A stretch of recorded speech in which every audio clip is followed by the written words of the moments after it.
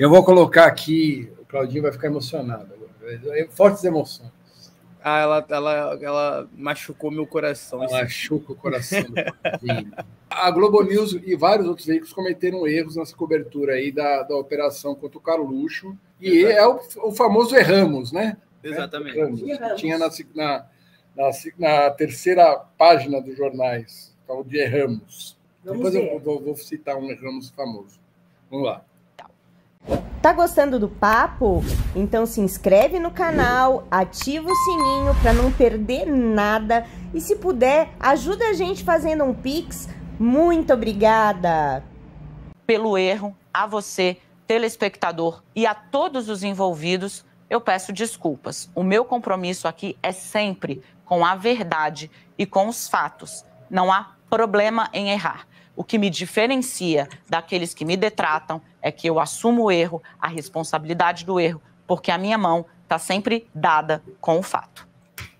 É, não, mas eu acho isso muito importante, assim, sabe? A gente vive um momento tão difícil do jornalismo. Estava até vendo a, a, entrevista do Eugênio Butti, segunda-feira, no Roda Viva, eu recomendo até. E se falou muito sobre essas coisas, até sobre o erro também, a importância do. Uhum. Eu vou citar um erro que eu lembro, acho que foi na Folha, que, que eu, tem, tinha, um, tinha um cara até, um, um, tiozinho aí, que eu esqueci o nome dele, não era o Palmeiro, o Palmeiro é que ele era parecido é, Japiaçu, ele chamava, que ele ficava recolhendo essas gafes da imprensa, isso faz uns 10, 15 anos. Mas eu lembro de um que era assim, é, conforme publicamos ontem, perdigotos são é, gotículas de saliva e não filhotes de perdizes. Que isso, cara? Essa é boa, né? Perdigotos, perdigotos com filhotes de perdizes.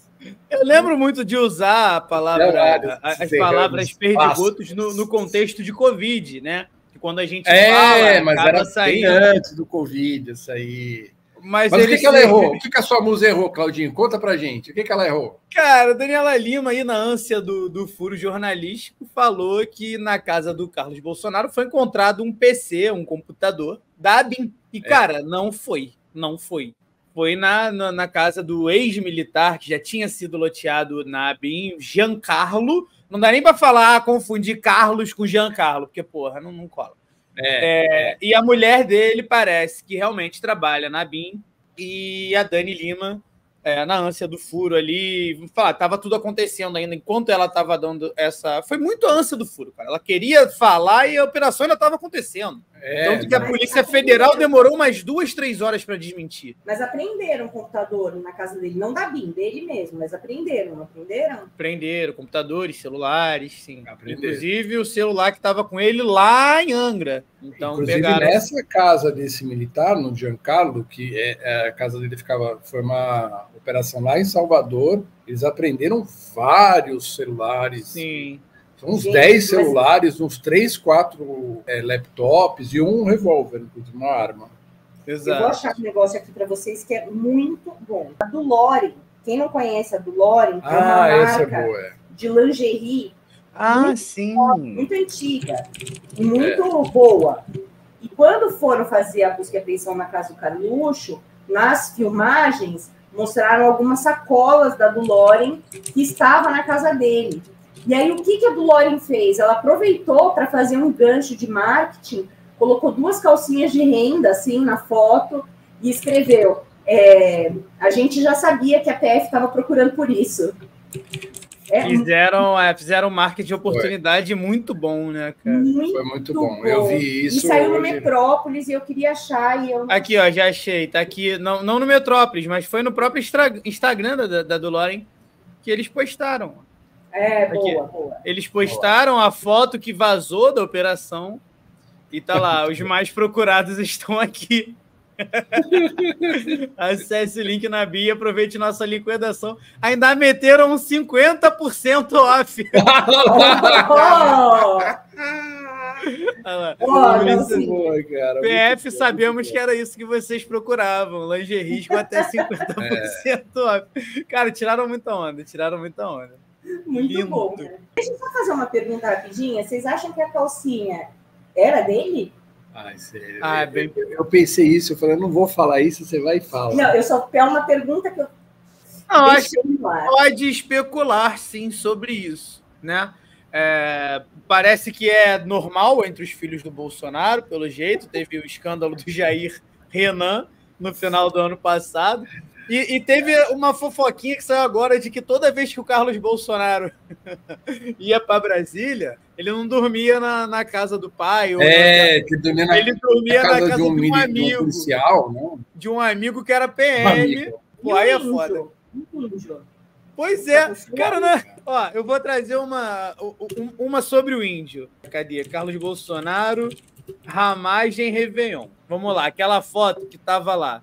Aqui, ó. Vamos, vamos trazer o índio de volta, que ninguém fala mais do índio. É, A índio foto- sumiu, né? A foto que estão falando tanto aí do, do Carlos Bolsonaro.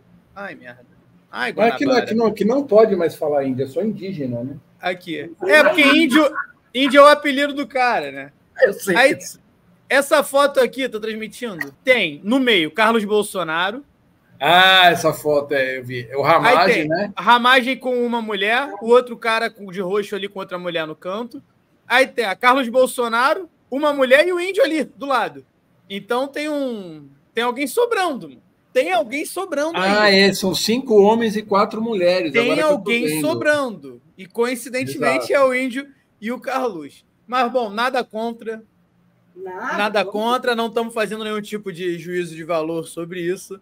É só mais uma coincidência. E além disso aí, toda vez que, que o Carlos vai para Brasília, ele tem tanto medo, ele é tão conspirador que ele dorme na casa de um PM. Ele tem um PM para chamar de dele lá Então, em Brasília. Né? Mas a gente está falando isso porque o pai dele é homofóbico. o nosso juiz- né? Exatamente, exatamente. O pai. Que falou que preferia ter um filho Não, eles também são homofóbicos. Eles Ele também. conseguiu ter as Os duas filhos também são homofóbicos. É, Ele consegue exato. ter filho gay e filho bandido. É o... É. Pra ele, isso aí, ele conseguiu ter tudo que É, ele quis. Enquanto tava a PF foi na casa do Bolsonaro e não achou um PC da BIM, como disse a Dani Lima e já se retratou sobre isso, Bolsonaro e os filhos fugiam de barco quando a Polícia Federal também se aproximava da casa que eles estavam em Angra dos Reis, aqui na Costa Verde do estado do Rio. E aí tá, fuga do clã Bolsonaro, um jet ski não teria voltado. IPF investiga ocultação de provas. E aqui, revista Fórum, ó. A fuga de Jair Bolsonaro com os filhos, Carlos e Flávio, pelo mar antes da chegada de agentes da Polícia Federal para cumprir mandato de busca e apreensão na casa de praia de Mambucaba, que é uma vila histórica aqui, um lugar bem bonito, na verdade. Após vazamento das informações que Bolsonaro e os dois filhos citados na investigação da PF teriam fugido, a defesa do ex-presidente alegou que eles teriam saído ainda na madrugada para pescar. Foi aquele papo da pesca. E aí que tá, que, no entanto, segundo a reportagem, a Polícia Federal identificou que uma das três embarcações que levavam Bolsonaro, os filhos e os aliados, não retornou à residência. Os investigadores suspeitam que o jet ski não retornou à casa em Mambucaba e possa ter sido usado para transportar e esconder provas. E aí tem vários memes, né, de é, celulares no fundo do mar de Angra. E aí, o que, que vocês acham disso? Será que foi mais uma coincidência? Ou será que eles É, mas o, pegaram... o cara vai Nada esconder uma prova no jet ski? O jet ski tem, o- tem o quê? Um Não, compartimento Mas não tem, tipo, na, na- no, no assento? Deve ter. no assento que nem moto. Eu, não Que sei, eu nunca andei moto, no né? jet ski. Eu também, nunca andei de jet ski. Agora Eu nunca andei de jet ski. é- Não é- sei se jet Não ski. me tem parece um negócio muito bom para, né, um local muito bom para esconder Mas será que não tem? celulares, assim cabe, né? Que nem moto? Será Não, deve tem? ter algum compartimento, um porta-luva.